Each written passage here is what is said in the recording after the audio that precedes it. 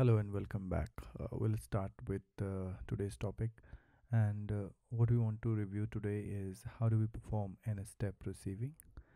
As the name says, n step receiving will involve uh, more than two uh, or three steps that are required. So earlier we have seen you have single step receiving through the receipt routing direct. Then you have two step receiving that is through standard receipt routing then you have three step receiving that's through inspection receipt routing. Now if you have to do more than three step receiving three steps receiving like four and five then how can we do that? That's what we are going to set up in the system. And a step receiving is uh, is supported for uh, standard receipts or inspection receipts. Based on that you, you can select and accordingly you can configure the system. The the setup that are involved are operation plan setup. We have to define the operations plan and then you have to assign those operation plan in the rule. And, uh, and and then we can create a purchase order with a standard receipt and try to perform those three or four steps that are there. So I'm going to do a standard receipt which is typically if you don't follow operation plan route then you have two step. But with the help of operation planner we're gonna go through a step receiving so first one will be received in the warehouse location. This will be another receiving location. And from there it goes to the final area which is let's say the permanent storage which is bulk. So we go ahead and replicate this scenario in the system. Okay so the first step is uh, setting up the operation plan. So we have to go to the warehouse manager switch responsibility. Go to warehouse manager here we will set the rule uh, operation plan first. So let's go ahead uh, warehouse configuration. Uh, operation plan. Maybe somewhere here. You can open up go to your organization. I'm going everything in BW1 so I'll go here. I have already created an operation plan so I'll inquire that. As I've created three step operation plan. So, okay this is the one that I have created earlier. This is enabled this is user defined. You see the first uh, step is load and drop and there's the second step again 30 and 40 second step. And first step will be performed when you do the first time PO receipt creation. So that way it becomes three step process. I'm gonna put this uh, first load and drop. Drop will be done in RCV location and the final drop will be done as per the put away rules. I've already written one put away rule that is uh, putting the material into the bulk. So that rule will fire and accordingly we can get the entire purchase order receiving done. So this is step number one. If you see uh, the step number one operation plan is created. Next one is the rule creation. So let's go ahead and do the rule creation so we go to WMS rule.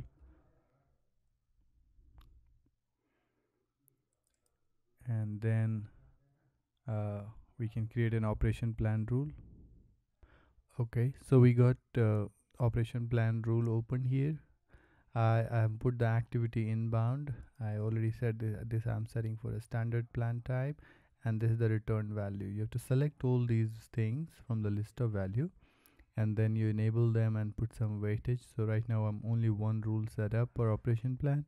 If you have a specific type of material to go for three step rest of them should not go through the operation plan. Then you can apply a filter here on the op you can put an item type uh, and then put the item type name here or item category or any other object through which you conditionally you want to invoke the operation plan. Then this is the way to do it once this rule is enabled and done uh, you got to run the concurrent program that's called generate generate all rule. You do this program run and wait for its completion. If once it is completed you are good to go to the next step. So step 2 is also completed. Now next one is the PO with a standard receipt. So I have a PO already created in the system. Let's go to the purchasing system uh, open a purchase order I have a PO number 6042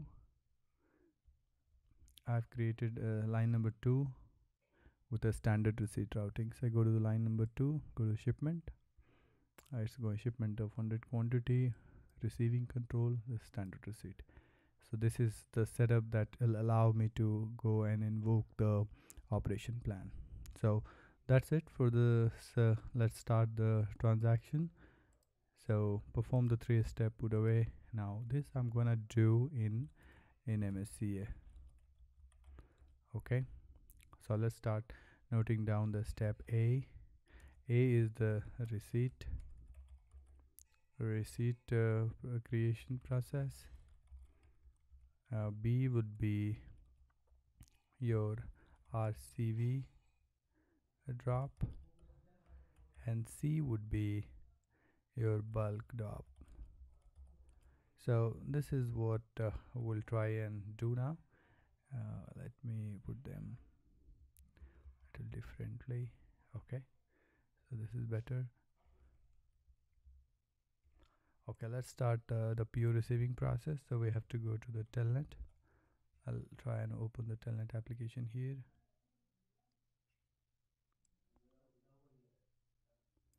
okay.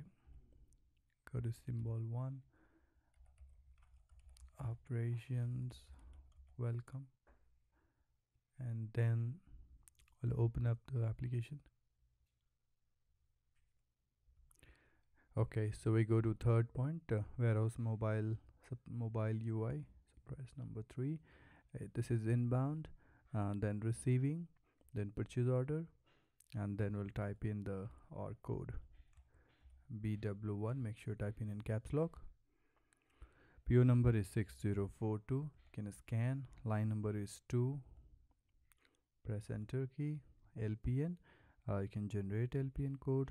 Let's or you can scan L22 for example. And you can escape. How much is the quantity? Let's put uh, 11 quantity.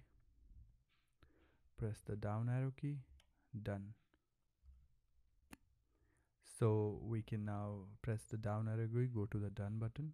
So lpn22 is created. This was the step one receipt information creation and will match.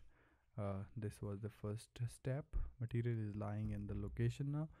Next one will drop in rcv location. Let's wait for this to get completed